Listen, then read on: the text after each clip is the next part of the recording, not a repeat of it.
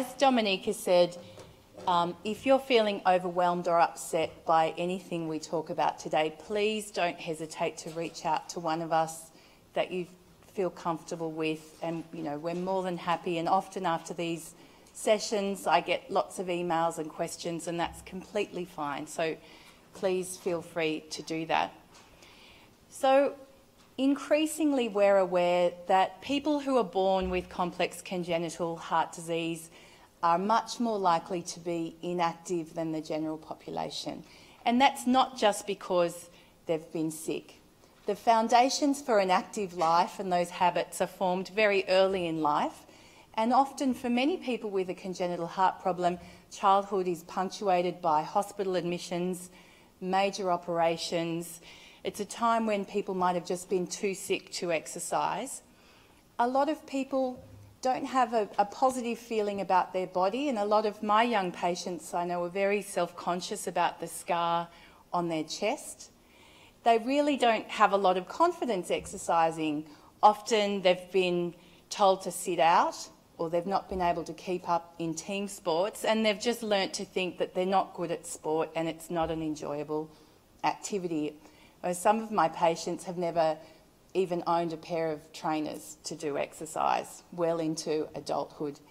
And something I hear all the time from my adult patients is that they were wrapped in cotton wool, that their parents were terrified of them participating, that they might get hurt or they might damage their heart. And that was really fed by the medical profession at the time because traditionally we thought that it might be harmful to exercise. But we now know because of research that's really exploded in the past 10 years or so, that regular exercise is very important for a whole range of congenital heart defects. It improves exercise capacity, it improves muscle strength and function. It actually can improve heart function, and we've got some good research to suggest that, especially in Fontan. It makes you feel better with regard to your mental health. It improves self-esteem, reduces symptoms of breathlessness, and it even has been associated with reducing the risk of hospital admissions.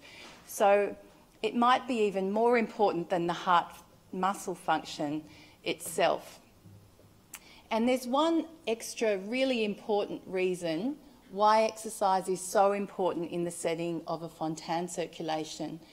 We understand now that if you have a Fontan circulation, your body composition is much more likely to have high fat tissue and low muscle mass than somebody without a Fontan circulation. And we're just starting to understand what the reasons for that might be. And I've got a PhD student, Derek, who's helped create these slides for you today.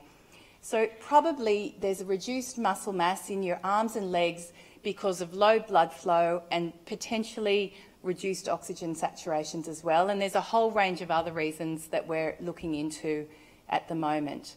And um, we've studied this in detail in a population of adults. So on this graph here, oh, why is the pointer? Oh, there we go.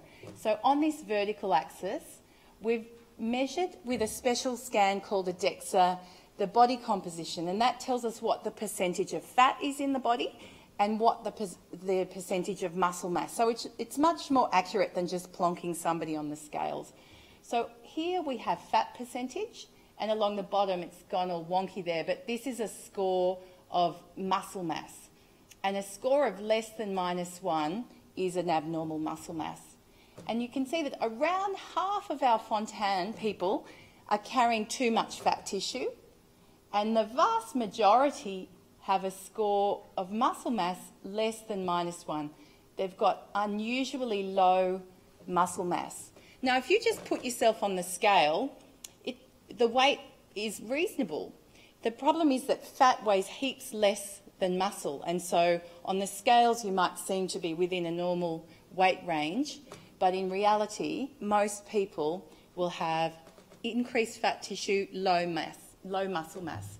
So the people in this pink box have healthy muscle and low fat. And the good thing is that we can do something about it. We can bring people into the pink box by exercising. So we've studied this and we've trained a group of Fontan people really intensively with weight training.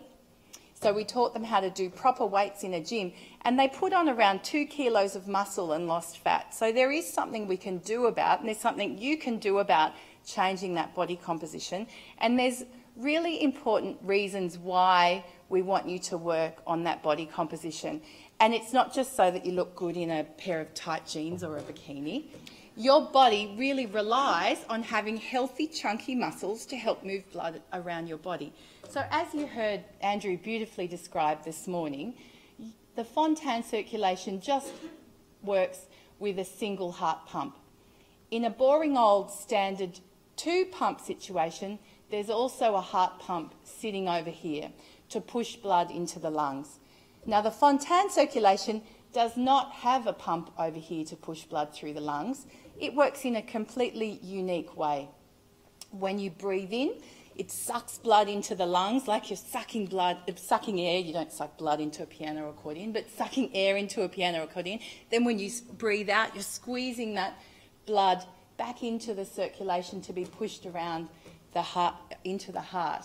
And when you exercise, more blood is pushed back up to the heart because your leg muscles are acting as two little pumps, pushing blood back up to the lungs. So these are pictures that you you might recognise from when you have an echo. And so these are pictures that we take. This is one of our registrars who I accosted in the hallway in a professional way and um, did an ultrasound. And um, so you can see here with each heartbeat, you get a little triangle. There's a little whoosh of blood into the lungs with each heartbeat. And this is one of our Fontan patients, and you can see that the flow profile looks completely different. There's no whoosh of blood with each heartbeat. There's just this very slow flow going in each time the person takes a breath. But the really amazing thing about Fontan is that as soon as I, this person was actually sitting on an exercise bike while I took these pictures, every time they did a pedal on the exercise bike, which you can see with the red and green arrows, there's a whoosh of blood coming back up into the heart. So every time you're exercising, you're helping pump blood around the body. And that pumping's even better when you've got big, healthy, chunky muscles. So what is the best time to start exercising? Well, we believe very strongly that it should be as early as possible. And it's much easier to form habits when you start things early. And there's good evidence now coming out of Japan and some of the data that we've um, worked on here in Australia that regular participation in sporting activities and vigorous exercise is associated with much better exercise capacity and outcomes, but it is never too late. And there was a lovely paper just published out of Japan that showed even if you go backwards in your exercise capacity, if you start building your fitness, that actually reduces the risk of problems later on. So don't be discouraged if you, if you do go backwards. It's still worthwhile working on exercising just to build, build your fitness back up. So I don't have a lot of time to talk about the nitty gritty of exercise training. And Julian was going to be speaking before me, but he's coming up next to talk to you about the role for the exercise test. And it's important that you do go and talk to your cardiologist before you start and they can give you some guidelines about how much you can push yourself during exercise. But for the majority of people, you, it, it is safe for you to do fairly vigorous amounts of exercise, not just wandering along the street eating a pastry. And also remember that the exercise you do throughout the day, climbing the stairs or hopping off a bus stop early, is also a really important way to build your fitness. And in Australia, if you go to your GP and get a chronic care plan, you're entitled to get five Medicare rebated sessions with an exercise physiologist. And a lot of my patients find that really helpful. I work with, with that exercise physiologist and we really make them a tailored exercise plan to get them started, which is great if you've never exercised and have no idea what, what you're, you're doing, you're not familiar with things. So start with modest goals. It's, and, and it's really important to try and do things that you enjoy. If you're hating what you're doing, you're not going to maintain it in the, in the long term. Ideally, it's great if you can exercise most days of the week for at least 30 minutes, but even 10 minutes a day is going to be helping your circulation. And for kids, as Julian said to me yesterday, if the family is not active, your child's not going to be active. It's really important to do things as a family. Um, and, and often you'll hear, talking, talking to my patients who are the ones who are really sporty and active, they all say, oh, my parents just used to push me along as a kid and I remember Dr. So-and-so saying I shouldn't exercise and my parents ignored them and and it, it, really has made an enormous difference flowing on into adulthood. Um, so I suggest to my patients that they try and do a mix of cardio exercises, which is things where you're getting your heart rate up, like might be um, team sports, dancing, swimming, walking but not sauntering, like really getting, getting your speed up, even using some little hand weights, with some resistance exercise, about 50-50. And resistance exercise might be going to the gym, but there's also lots of things you can do at home.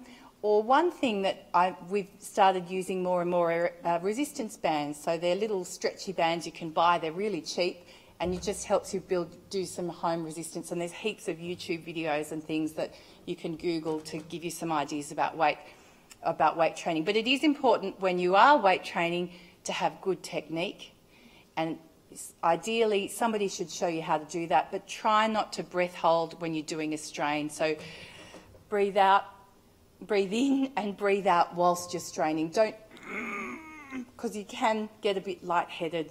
You do rely on breathing to help your blood flow through your body. So make sure you're doing it properly.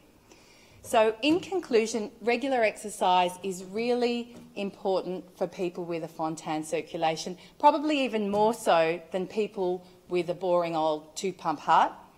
It's important that you keep as active as you can, and everybody has different potential. And it's important to be realistic about what, what, um, what you're going to achieve.